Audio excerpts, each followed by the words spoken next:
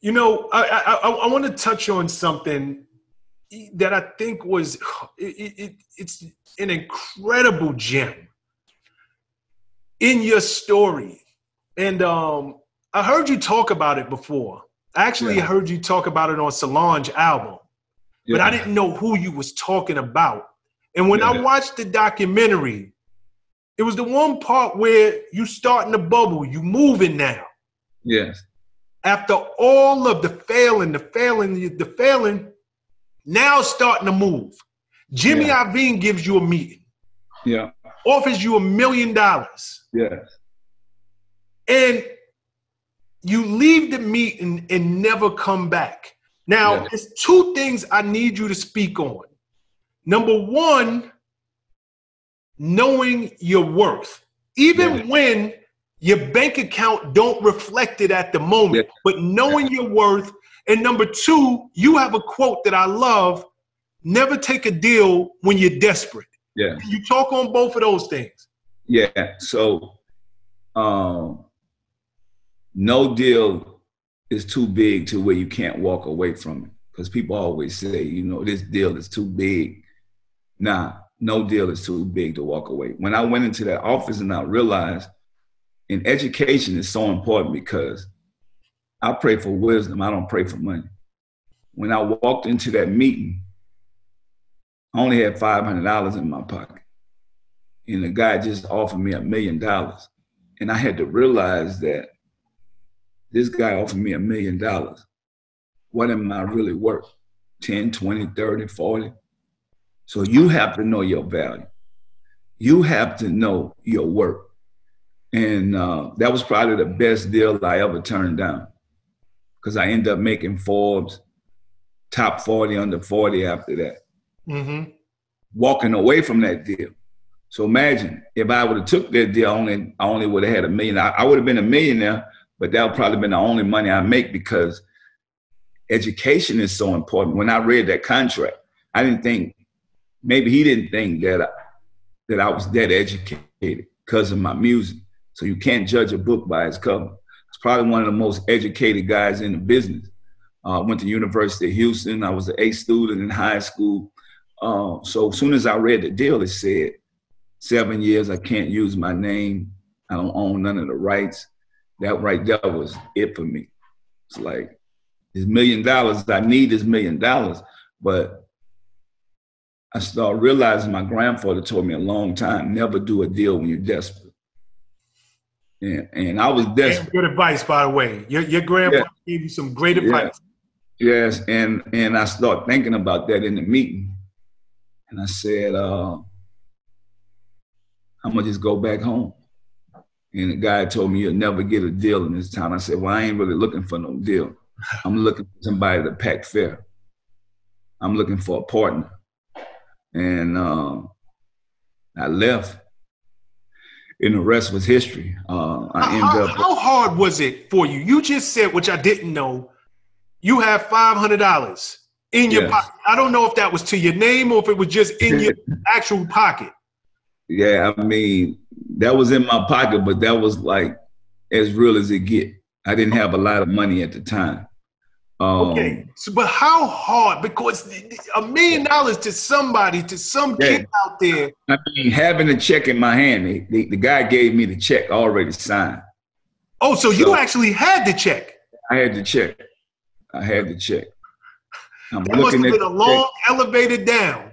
Yeah, no, it was it was tough you know, like you know what's right, but you know you need the money. Uh huh. And it's like, man, I could take this money and I could do this and that with it, but I'm like, but then I'm selling my soul, and it's not worth it. Which a lot of people say, well, you know, that's seven years.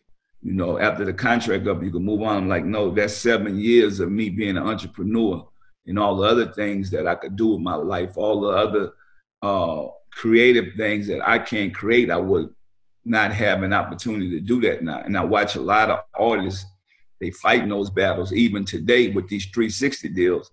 They sign these multi uh, million dollar deals, but it also tied their lives up mm-hmm. where they can't do nothing now and they get shelved, their music is shelved, and the record companies put their music out when they want to.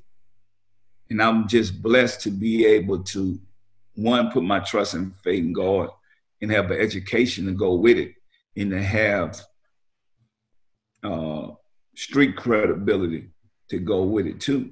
Because I think that's what made me dangerous, that I was already know knew what was going on on the streets and I could handle myself on the streets and then to be educated and be able to articulate in a corporate meeting and um, just having value in, in integrity.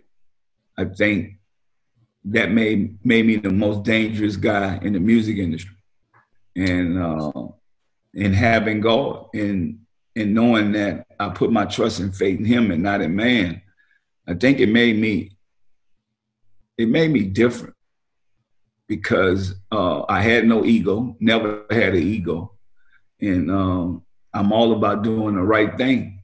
But by me growing up on the streets, I'm like, they knew that I was a different breed, but I've always treated people the way they treat me, and people don't realize your word is everything. Uh, I've always kept my word, and I've always given respect and demand that same thing back from somebody else. And I think that's just the way I live because there's a lot of people with money but no respect. Correct. And and you can't buy love. People realize you could buy pleasure, but you can't buy love. I don't care how much money you have. Correct. And, uh, and I think those are things that made me different from a lot of the moguls and a lot of people in the industry. But it also it put me in a place by myself because I never really had a lot of friends in the industry. So people always ask me all the time, but P, how come you don't have a lot of friends in the industry? Because I think in the end, those friends end up being enemies. And so I've always read uh, the, the book of war, uh, A Good Soldier Prepared for War in Time of Peace. And I don't mind being with myself and my family instead of just living for a party or living to play or living to show people what I have. I could jump in a Rolls Royce or I could ride in a Dodge truck. It don't show who I am. And I learned that from Warren Buffett. Warren Buffett could ride around in a Honda. That don't he know what he has in the bank. There you go. So even with me, you know, I done drove by some people in Rolls Royces and I'm in my truck and I know these guys don't have what I have. Mm-hmm. You know, a car don't make me, material don't make me. I realize all this is temporary anyway, and we can't take this with us. Um, I watched the guy who created Apple, the iPhones. When he passed, his wife on a boat with somebody else. So this is all temporary success. Some people don't even get a chance to enjoy. That's right. Labor. And so I'm just thankful, man, with everything that's going on with COVID 19 and people are dying. We're losing so many great people. I'm saying time is more important than money. Well, I want to touch on something you said earlier. I'm, I'm sorry, Pete. I'm sorry. Yeah. So time you can't get back. Any entrepreneur that's listening and watching this, time is more important than money. What's up guys? Thanks for sticking with me to the end of the video. Truly appreciate you. If you like anything you heard here today, go ahead and hit that subscribe button. And if you know anybody that can benefit from this message, feel free to share. Peace and love.